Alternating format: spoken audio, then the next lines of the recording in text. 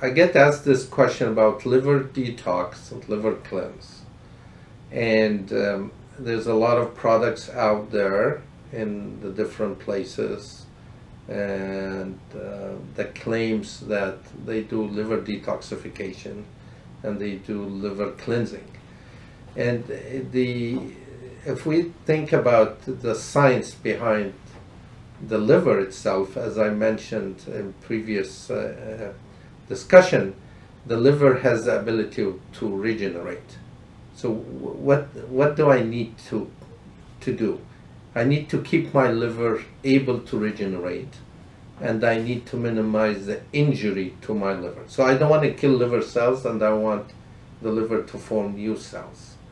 And the liver naturally would form new cells by certain hormones that comes out of our gut.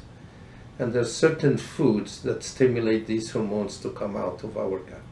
And they come out with regular meals. So if we eat a regular balanced meal, it stimulates these neuropeptides that that goes to the liver that makes the liver cells regenerate and replace the dead liver cells. And accordingly, uh, a good balanced diet should do that. Now, liver cleansing, liver detoxification, the liver is the factory that detoxifies everything. And it dumps a lot of these toxins sometimes in the bile. And the gallbladder has the bile, concentrates the bile and the gallbladder, when we eat certain foods, it tells the gallbladder to contract, to push this bile into the intestine because it helps digesting the food.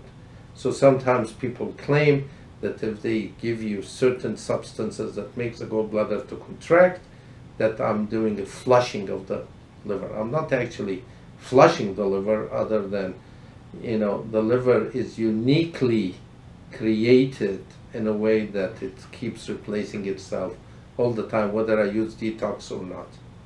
So the main goal is to treat the cause of the injury to the liver cell, whether it's alcohol, whether it's certain drugs, whether it's certain toxins, chemicals, or whether it's uh, certain viruses, or um, uh, what is underlying the liver injury. That's what we need to address.